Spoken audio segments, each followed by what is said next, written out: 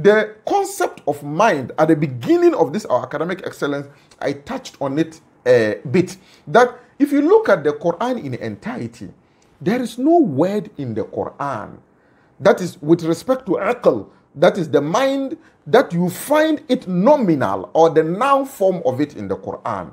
But then the verbal form that connote how to use the mind, according to you know Professor Yeshar Fersa Olu in this his book, Fat Book, just on how to use the brain, how the Quran guides us to develop our intellectual capability or ability.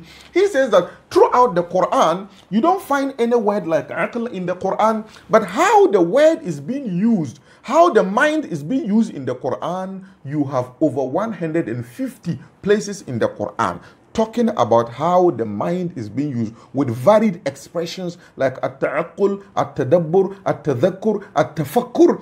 And these activities of the mind is what will use you to be able, to, what will enable you to be able to acquire information. The highest level of the information being the signs of Allah Azza wa Jal. S-I-G and the signs of what? Allah Azza wa Jal. The information, refined, factual, real information in the Quran, you need to use your mind to what? Think. So for example, in Surah Al-Jasiyah, Quran chapter 45 verse 13, Allah says, وَسَخَّرَ لَكُم مَا فِي السَّمَاوَاتِ وَمَا فِي الْأَرْضِ That Allah Azza wa Jal has made everything on the earth and then also in the heavens to lower themselves he has made them subservient to rest for them to become our servant to come and serve everything has been created to serve one creation which is what human being and then allah said from him jami'an minhu in totality from here allah azza wa then he said that inna fi dhalika indeed in this one la ayat there are signs there are some deep ideas and intellectual information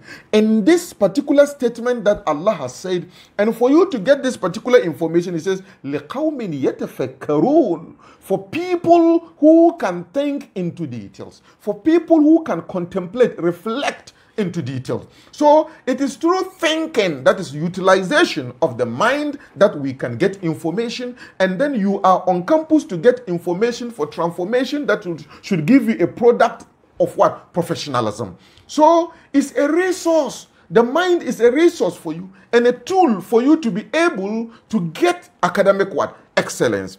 But then I want you to understand that you are to use the mind on campus to do what? You have not been given this mind to be on campus to go and process ideas on politics, to go and process ideas on football, to go and process ideas on some unnecessary, irrelevant clubs on campus, to go and uh, uh, process ideas on boyfriend girlfriend relationship. Your mind was not sent over there to do that one. Your mind was sent to process academic information. And for that matter, you are supposed to always use it to process information that is relevant to the acquisition or elevation of your status to the level of the professionalism that you want. A question of talent and then skills on campus, but not to go and process girlfriend boyfriend relationship. You were not sent on campus to go and look for a wife over there. Neither were you sent to go and look for a husband over there, but you were sent on campus to go and look for a professional certificate